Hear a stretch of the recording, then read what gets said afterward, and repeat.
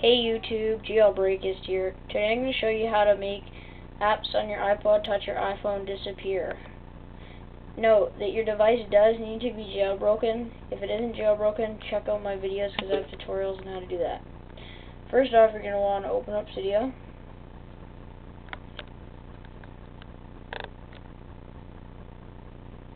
Wait for it to load.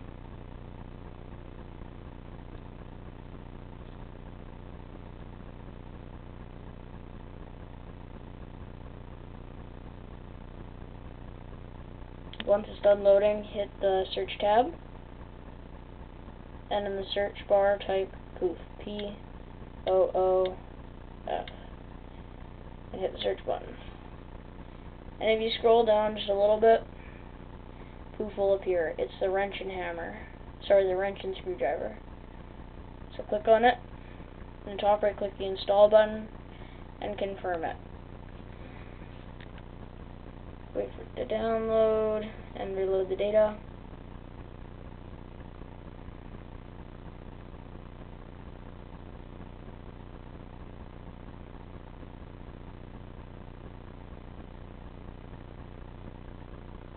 Okay, when it's done reloading, hit return to Cydia and exit.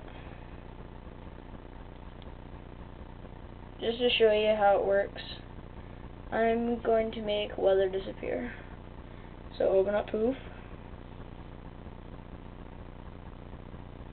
And you'll be displayed with your apps. So scroll down to the app you want to make disappear. And slide the on to off. And if you want to turn it on from off, slide it on. I'm going to show you. Okay. Now it's turned off. If you when you select all the apps you want to turn off, press the home button. And the spinning wheel will come up.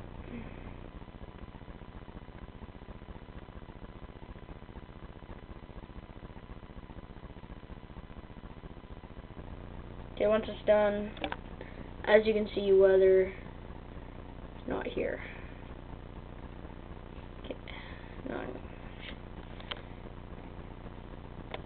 In case you accidentally do high poof, you can bring it back without needing to restore your iPod or anything like that. All you need to install is Big Boss Press. It comes off Cydia as well. So, comment, rate, subscribe. Thank you for watching.